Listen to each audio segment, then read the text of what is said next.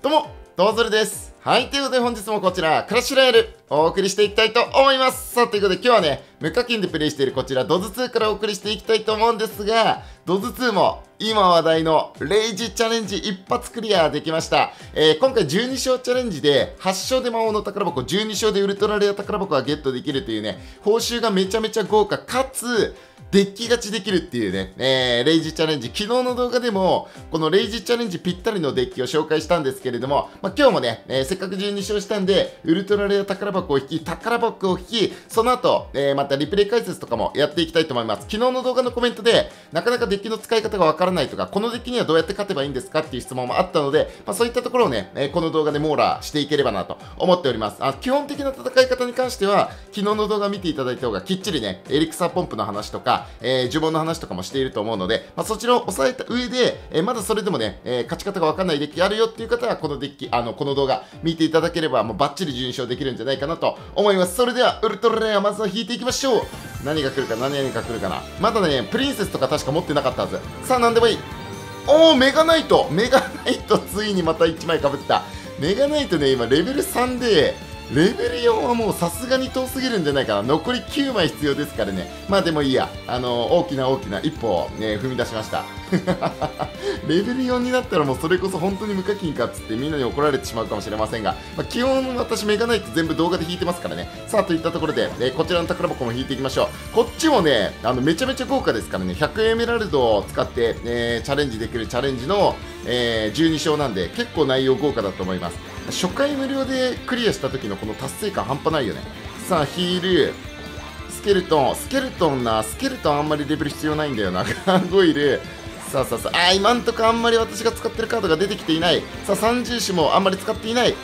ゴブリの声、やばいやばいやばい。マジでゴミ箱。え、でも、こっからスーパーレアからのウルトラレアパターンあるか？せーの。あー、さすがになかった。巨大雪玉。そして、ラストはネクロマンサー。うわー、だいぶゴミ箱だったな。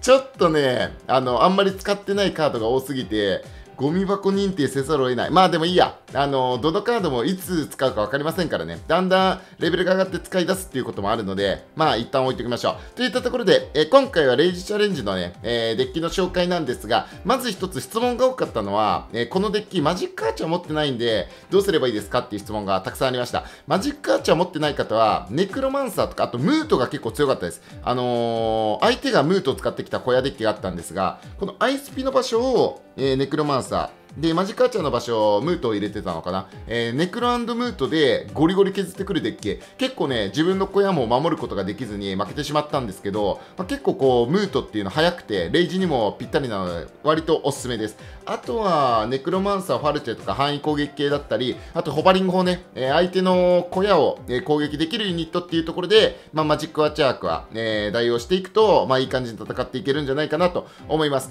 あとね、質問多かったのは、相手の小屋デッキに対して、えーの戦い方、ちょっと早送りも交えてね、あ、そうだ、あの、昨日の解説動画めっちゃ早口になってましたねっていう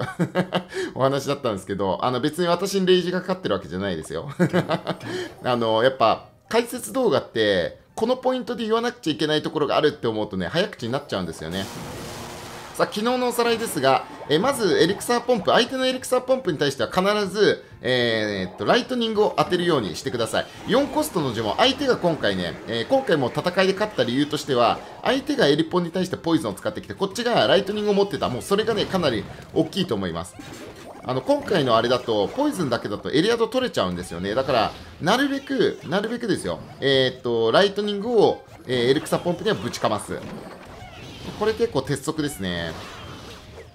今回のこのエリクサーポンプは昨日も言ったようにあの11エリクサー生成してくれるんですよねエリクサーあの出てくる量が半端ないので、まあ、そういった意味でもさあ今回はファイヤーボールを小屋に打って小屋を相手の小屋を貯めないようにして、まあ、自分は小屋を貯めていくというずる賢戦法でいきます。で結構ねあのレイジチャレンジミス多いんですよ私も。あの多分みんなもミス多くなると思うんだけどいつもより早かったりするので、まあ、ミスはあんまり気にせずにあの一番大事なのはエリクサーポンプと小屋を立てていくことなんで、はい、エリクサーポンプと小屋を立ててって相手の小屋は、えー、と潰していくと、えー、いったことが大事なのでここで相手が左にあのまたポイズン打ってくるでしょ？ポイズン打ってきてで右に小屋を貯めていくと、えいう繰り返しですねただじわじわとこっちの方がね、あのー、エリアドもダメアドも取れていくと思うので、まあ、ここは我慢ですね。で、こうやったあの相手のタワーの前に出てきたような、えー、こういう小屋ね、えー、この小屋に対して、まあ、ダメージ稼いでいきたいなっていう感じでございます。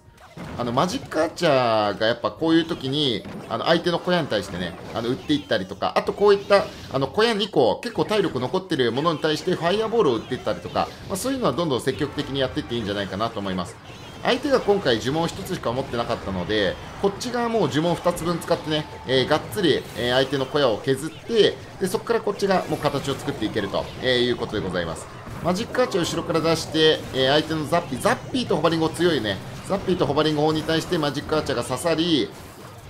ここはなんとか処理できたって感じかないやでもねここ結構きつかったのか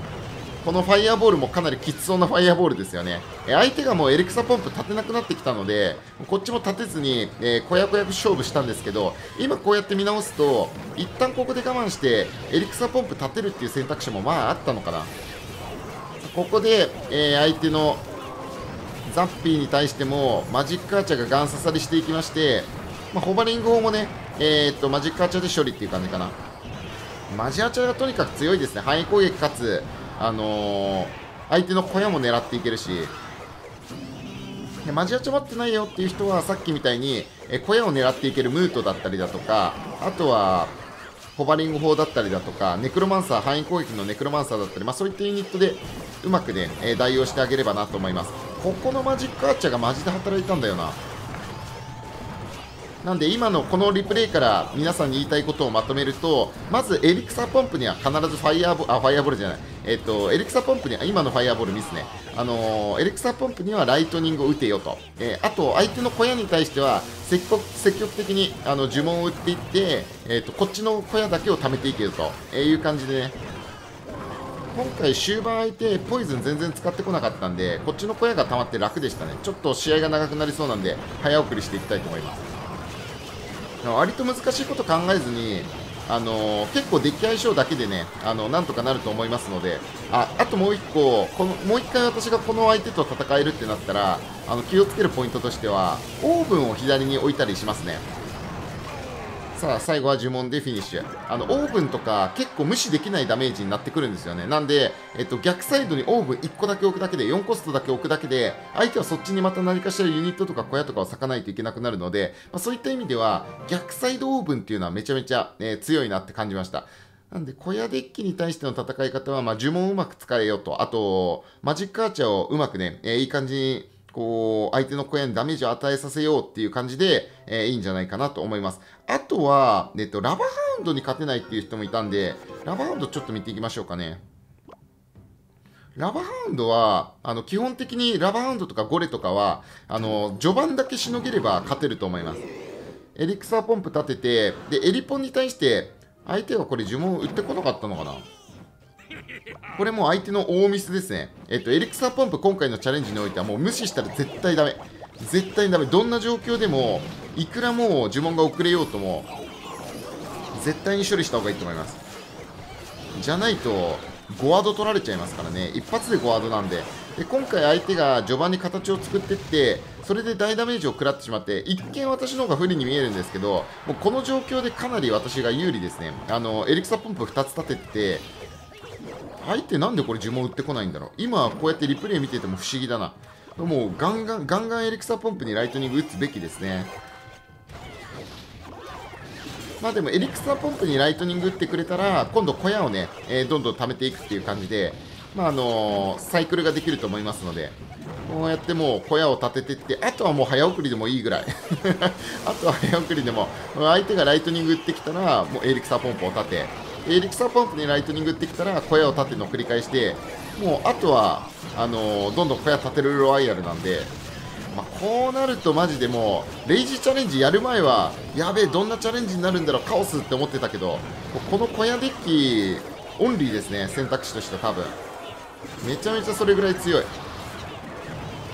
昨日ね、あのー、動画上げ終わった後にツイッターとか動画のコメント欄とかであのこのデッキのおかげで12勝できましたっていう報告がもう鳴りやまずめちゃめちゃたくさんの人がこの小屋デッキで12勝してくれたみたいです。さあといったところで、えー、じゃあそんな感じでよろしいですかね。結構ねあのいろんなデッキがいます。あの小屋デッキオンリーになるかなって、小屋デッキ一色になるかなって思ったんですが、結構エリートバーバリアンゴーレムデッキだったりとか、三銃士デッキだったりとか、あとホグライダーデッキ、ホグリデッキ、まあ、そういったデッキもね、え、かなり多く、え、いるので、まあ、結構こう小屋デッキが圧倒的に私は強いと思っているので、まあ、そういったね、え、他のデッキを使っている人たちを、えー、カモにしつつ、え、さらにね、え、小屋デッキ対決ではマジックアーチャーだったり、まあ、呪文の使い方ね、え、1個アドバンテージを取って、えー、順位を目指していただければなと思います。はい、ということで、じゃあ本日はレイジチャレンジおさらい編ということで、えー、っと、サバカでね、えクリアしたリプレイを見ながら、え宝箱を引いたりとか、えあと昨日の動画の補足とかをね、えお送りいたしました。またね、えちょっと見足りないよっていう方は昨日の動画でも、ね、しっかり解説しておりますので、こちらも合わせてチェックしていただけると、12勝の確率がぐっと上がるんじゃないかなと思いますので、ぜひチェックよろしくお願いいたします。ということで、え今後もね、えいろいろなチャレンジ来ると思いますが、え攻略デッキ、あとは攻略法だったりとか、いろいろ、ね、発信していきたいと思いますので、ぜひともこれからもご視聴よろしくお願いいたします。ということで今日の動画はこんな感じで、また次の動画でお会いいたしましょう。バイバイ